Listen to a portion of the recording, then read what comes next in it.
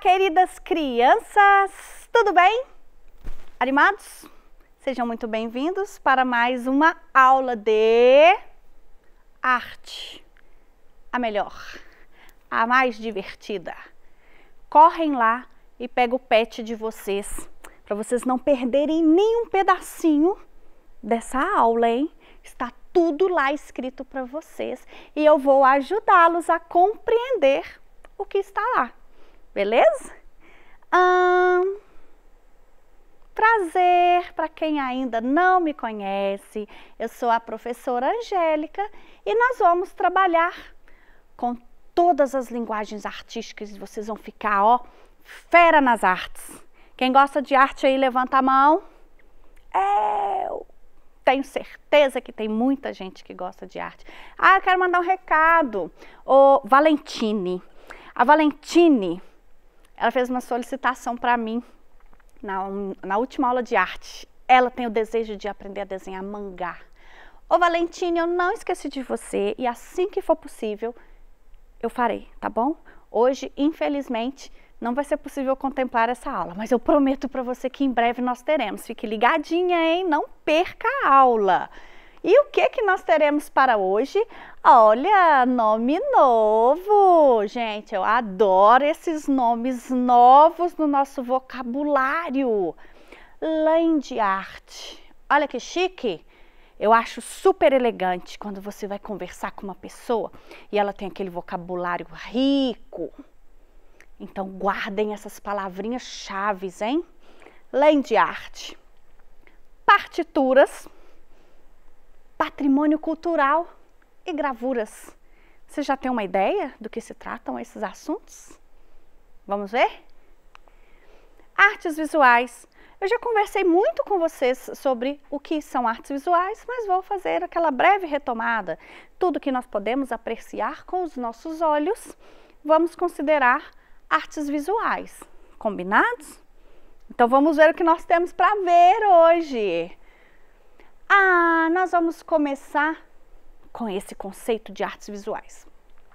Expressam, por meio de materiais, o pensamento do ser humano, assim como suas emoções, seus anseios, sua história, a cultura da qual faz parte e desenvolve a identidade de um povo ou até mesmo de uma classe social. Tá? Ok. Artes visuais, então, é bastante abrangente. E dentro das artes visuais, eu trouxe um movimento artístico muito bonitinho, que se chama land art. Land significa terra. Arte é arte, então, arte da terra. O que acontece?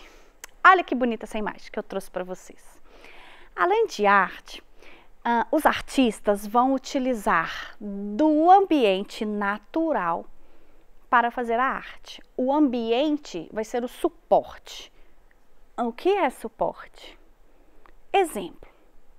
Quando a gente fala assim, olha, é aula de arte, todo mundo fala comigo, é, nós vamos pintar.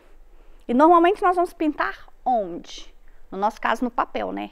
Mas os artistas, quando a gente pensa em artista, logo nos vem à mente o quadro, a tela.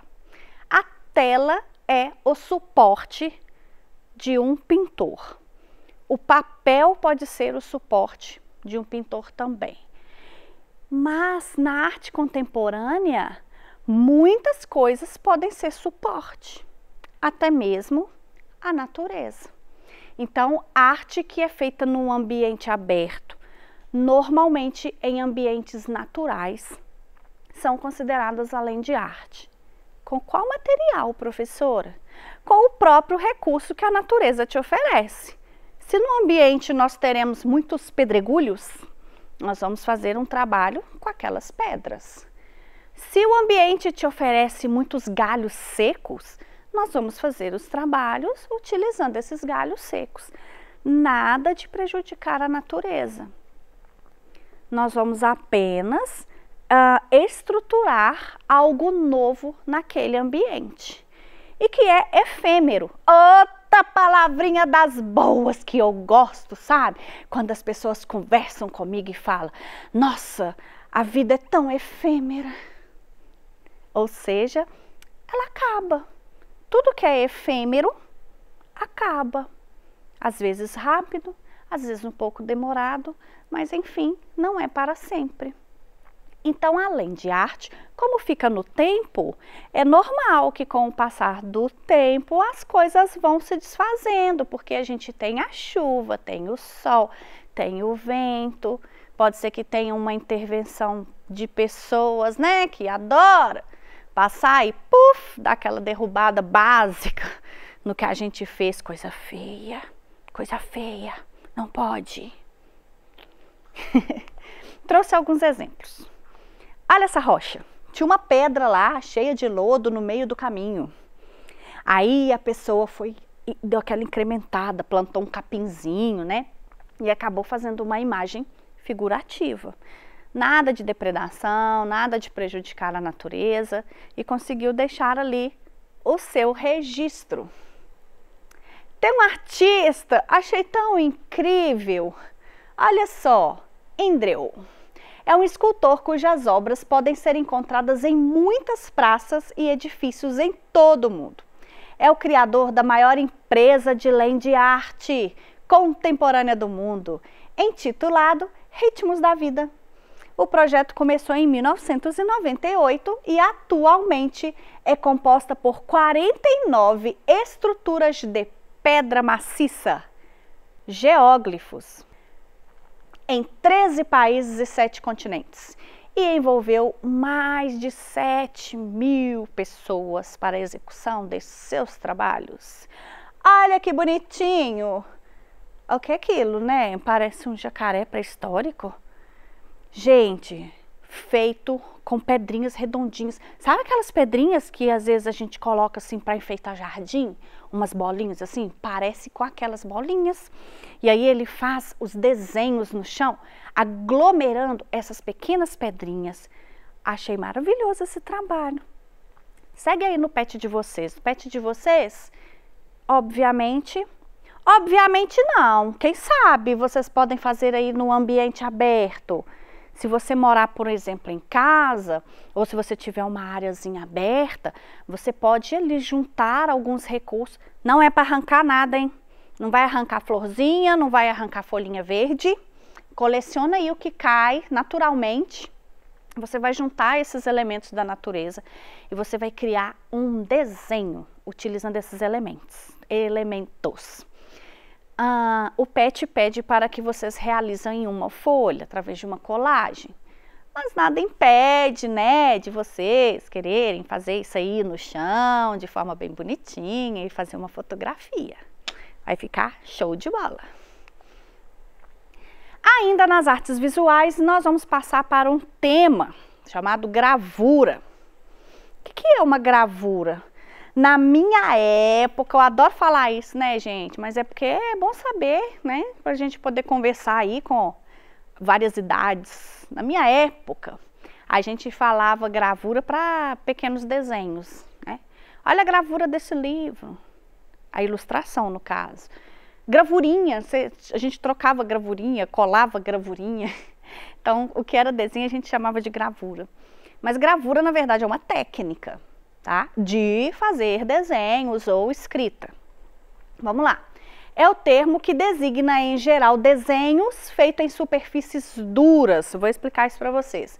Como a madeira, a pedra, o metal, com base em incisões, corrosões e talhos realizados com instrumentos e materiais especiais.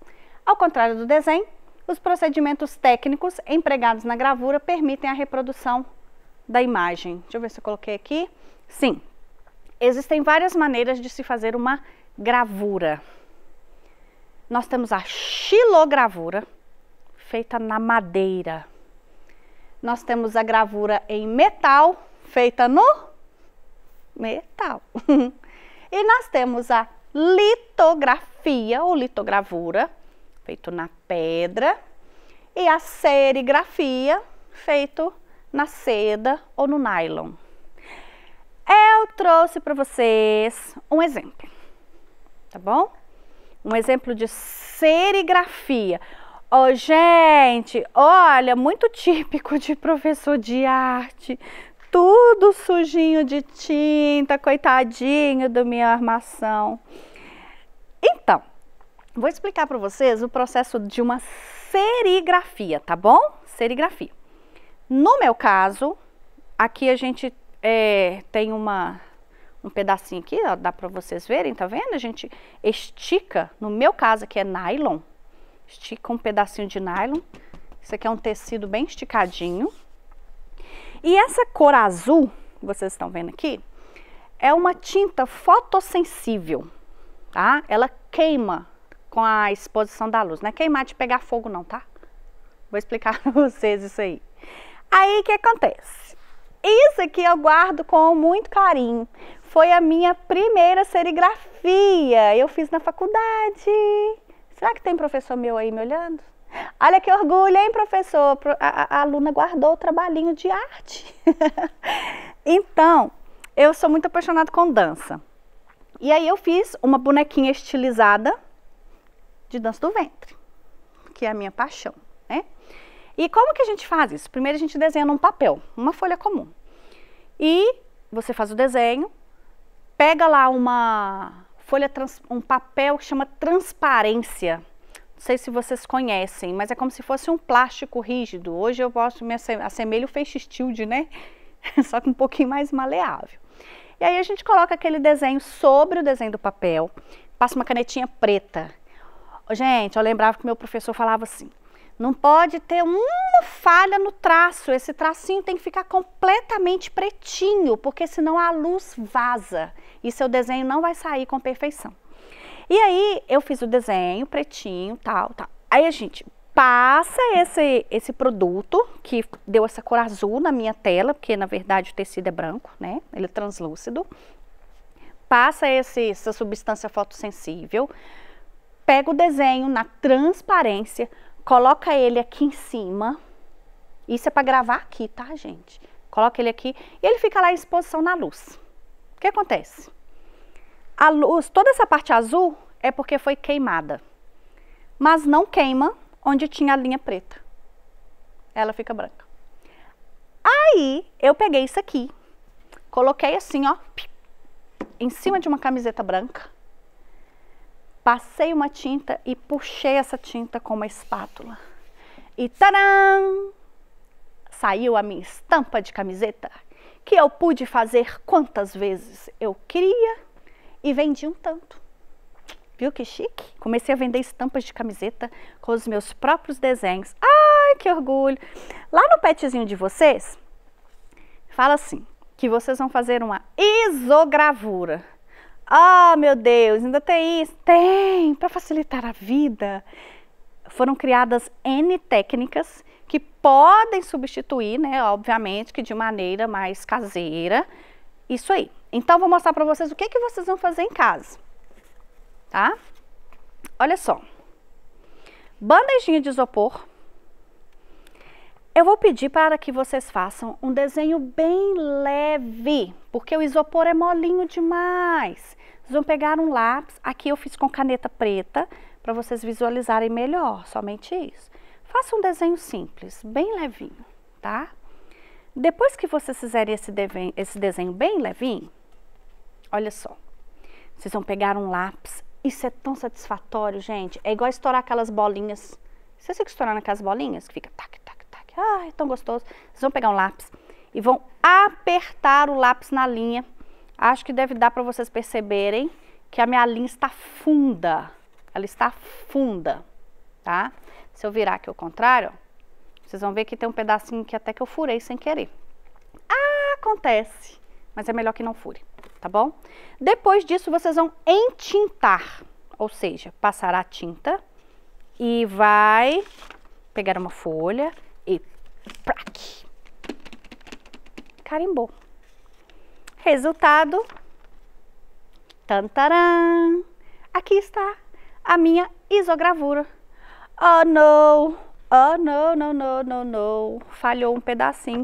Aí eu fui lá e fiz de novo. Tantarã, resultado 2. Gostaram? É isso que vocês vão fazer no trabalho de vocês aí em casa. Chique demais. Música! Eu gosto de música. Mas a música, essa que a gente escuta aí que já nos faz dançar, na verdade ela é composta por vários elementos. E aí nós vamos ter ter que ter harmonia, melodia e ritmo. Professora, não entendo nada dessas coisas. Harmonia é a combinação dos sons ouvidos simultaneamente, ou seja, nós precisamos de ou de várias vozes ou de vários instrumentos para criar uma harmonia. Harmonia é aquilo que faz você chorar assim, ai, que música triste, ou que fala, nossa, que musical tá astral. Lembrando que eu não estou me referindo à música cantada, tá?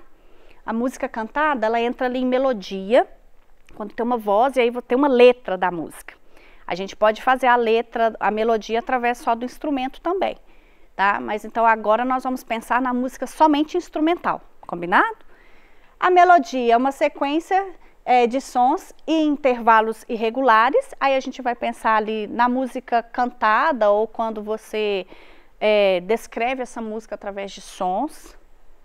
E o ritmo é aquela pulsação, é o que faz seu coração bater mais forte, aquele que dá vontade de balançar o pezinho.